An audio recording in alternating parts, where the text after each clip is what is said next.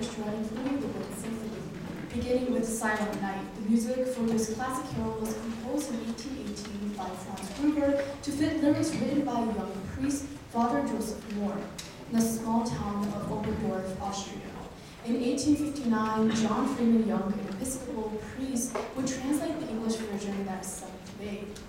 Gruber's original composition was actually in 6-8 time and intended to be played sung at a faster tempo than what we have accustomed ourselves to hear, which is why the arrangement that we'll be playing right now includes a faster section in the middle in order to honor this original intention. The second piece that we'll be performing is White Christmas. It was written by Irving Berlin in 1940 and first publicly performed by Bing Crosby in 1941. It became one of the 12 songs included in 1942's Holiday Inn, a movie in which Fred Astaire and Bing Crosby were leads. Berlin received an Academy Award in 1942 for White Christmas for the year's Best Original Song. Bing Crosby's signal, sing, single of White Christmas was reportedly sold more than 50 million copies and thought to be one of the most popular worldwide singles selling of all time. So give it up for the Symphony Orchestra.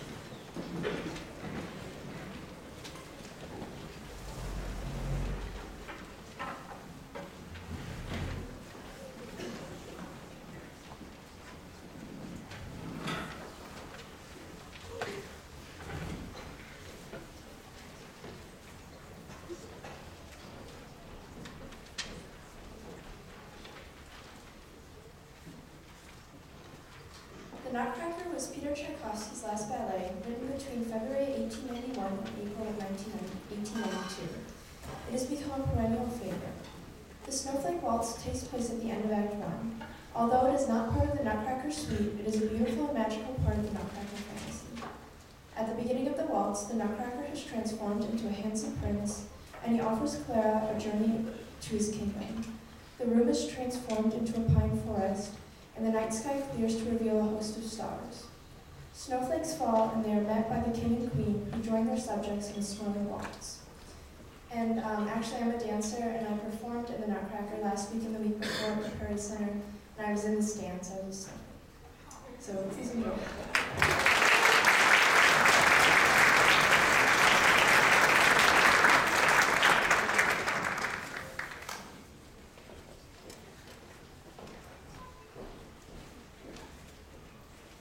Like to take a moment to um, thank my colleagues, um, Mrs. Espel, who is um, the choral director. We have the women from Choraliers joining us on, on this uh, lovely movement from the Nutcracker, and also my band colleagues. It's just a wonderful uh, professional learning community here in the music department, and I'd just like to give a shout out to them. And thank you to the parents, my students, to friends, family, um, aunts, uncles, grandparents. Um, it really uh, is, is a musical community and it takes so much um, to, to further wonderful music making. And I'm blessed to be a part of it and uh, blessed to have these students. Um, again, have a wonderful holiday and enjoy um, Snowflake Waltz.